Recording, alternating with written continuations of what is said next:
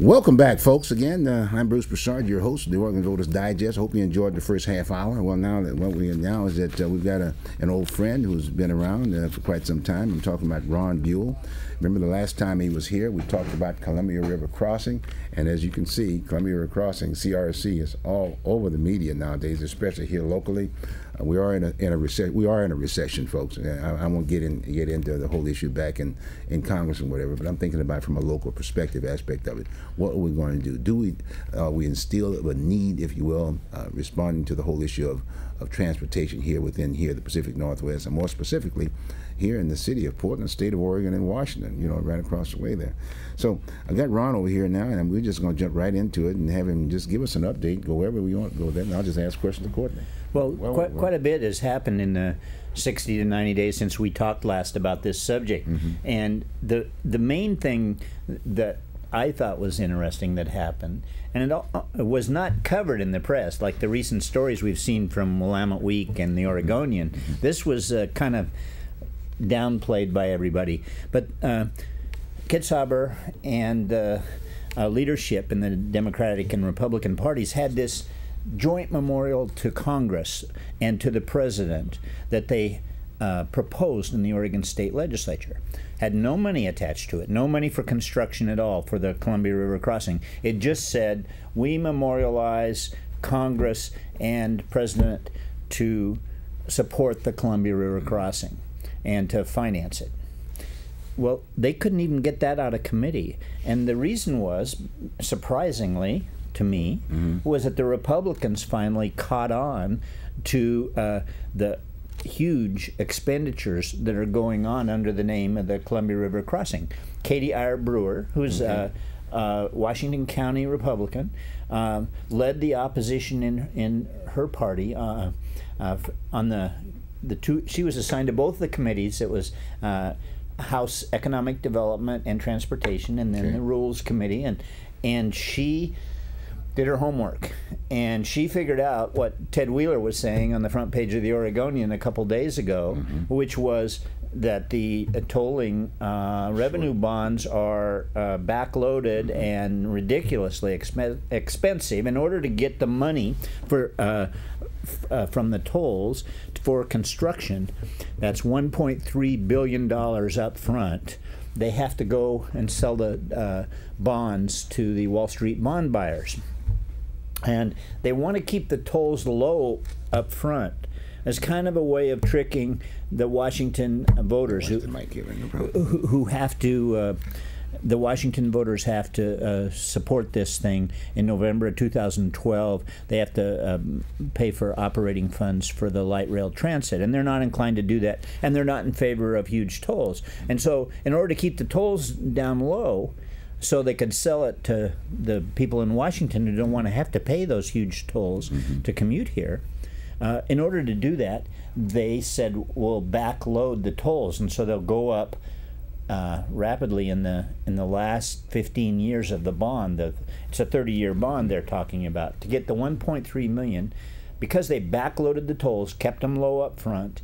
They had to pay 2.7 billion dollars in interest on that 1.3 uh, billion over the 30 years. Right, right, right. and the collection costs, because what they're going to do to collect them, they're not going to have toll booths out there. To collect the tolls, they're going to, uh, you, you can buy a trans- transponder if you're coming and going right. every day as guaranteed, a commuter. Guaranteed. And then you just, you know, you show your transponder as you go through, and they collect the money from you once a month or something like that. If you're if you're not a regular driver, they take a picture of your license plate and they send you a bill. So the billing costs over 30 years, 1.7 billion more.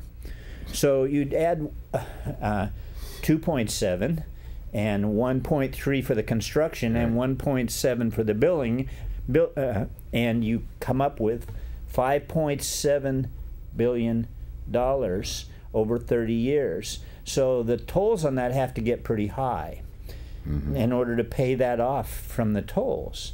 And so the bond buyers would say, well, wait a second, you've projected this uh, traffic to grow dramatically over the next uh, 30 years. And for the last uh, six years, it hasn't been growing. It's been going down. Now, There's a slight uptick when they were working on the Fremont, I mean, on the Glenn Jackson Bridge, Uh, and people used the uh, I 5 instead because there was construction. They were doing some uh, work on the on the Glenn Jackson. Uh, that happened in 2010, a slight uptick uh, in traffic in 2010. But every other year, Yeah, we got two- two- bicycle, we got light two- rail. Yeah, what? 2006, 2007, 2008, 2009, 2000, uh, those years were all down. Wow. And they made the projections, the 30 year projections, back in Based on 2000, 2004.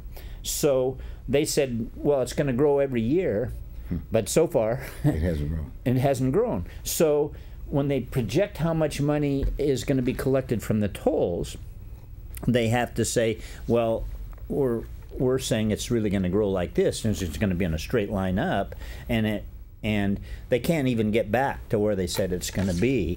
Uh, I mean, it's almost impossible for it to grow that rapidly. You know, and I know that Clark County is quite suburban, Yes. and there's a lot of developers who build housing out there. Well, since the uh, 2008 2009 crash in the housing market because of the foreclosures and the interest rates and the and the phony uh, mortgages that were put out there, who's been building housing? Well, almost nobody. So Clark County was saying, well, next 50 years, uh, we're going to grow from 450,000 people to a million people by 2050. Okay, so is that happening? Well, no, it's not happening.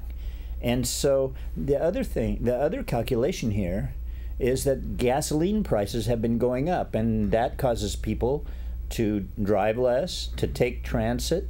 And so you're looking at these uh, projections that say, hey, we're going to be able to finance uh, uh, $1.3 billion of this bridge based on toll revenues.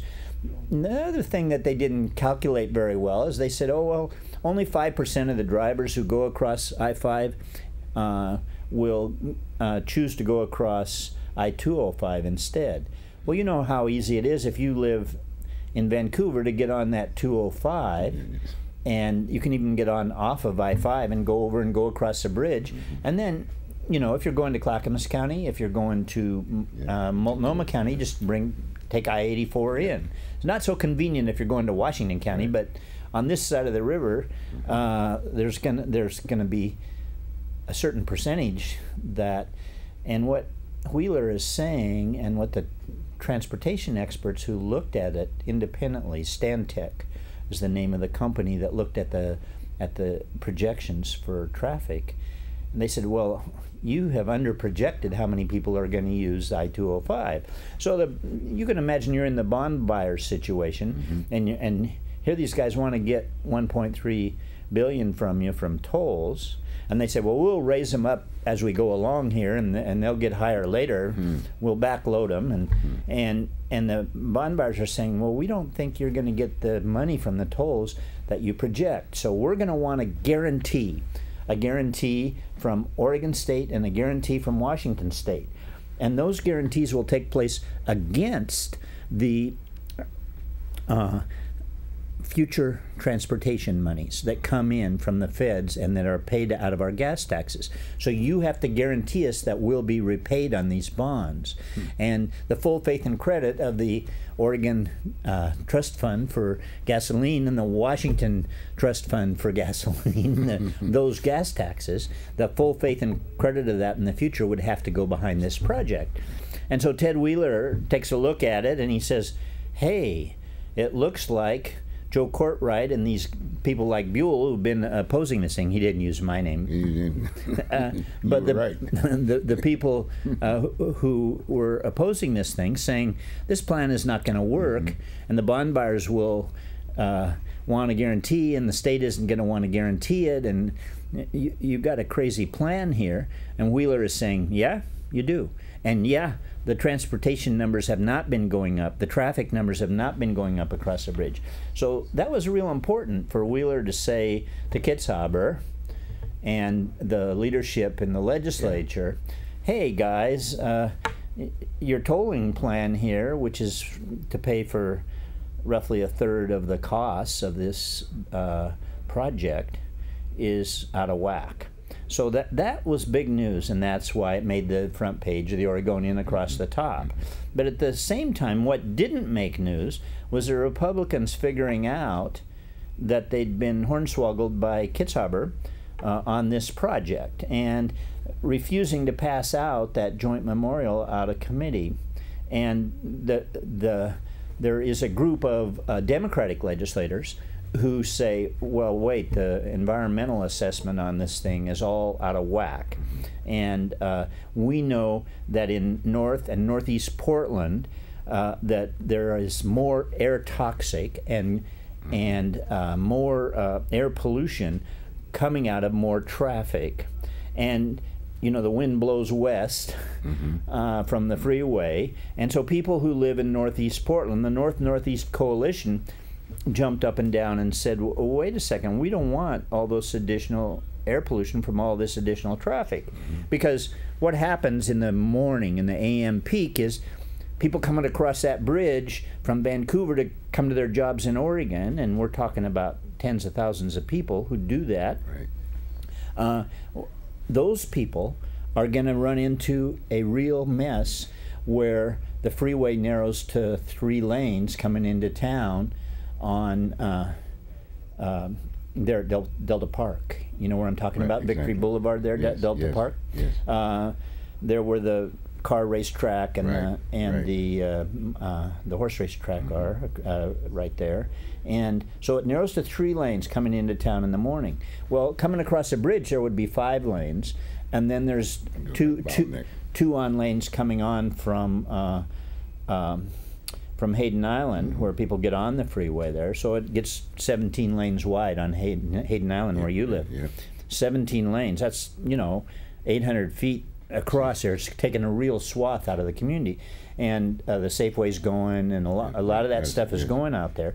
Well, then it's uh, the Marine Drive over here is coming in with with another lane, and all those trucks coming off Marine Mm-hmm. Drive going uh, south in the morning, going to join in, and then so you really have about eight lanes Mm-hmm. that narrow down to three in a space of less than a mile and a half, and uh, so every morning traffic's going to come to a dead stop. So when they did the uh, environmental impact statement, Bruce, Bruce, when they did it, they said, well, we're going to speed cars up through the bridge impact zone. Hmm. So there will be less air pollution. But in fact, they're not going to speed cars up in the morning. They may speed them up a little bit in the uh, evening because you got to go all the way down to Battle Ground before it, it gets down, you know, to two, good two lanes and it again, yeah, really, right, really right, right, narrows. right. It- It's quite quite a few lanes going through Vancouver on on out. So it may go from six to four going north. That's not quite as bad as seven or eight to to three Right, going right, south right, in the morning. So uh, people are saying you're not cleaning up traffic as much as you say you're going to, and therefore your claims that you're going to re- by by getting rid of this stopping and starting. Um, that you're those claims that you're going to lessen the air produce uh, pollution, reduce the air pollution, reduce the air toxics. Well, what are we talking about when we say air toxics? What's that mean? That means the formaldehyde and the benzene that comes off of diesel fuel and and gasoline. uh, Those are cancer.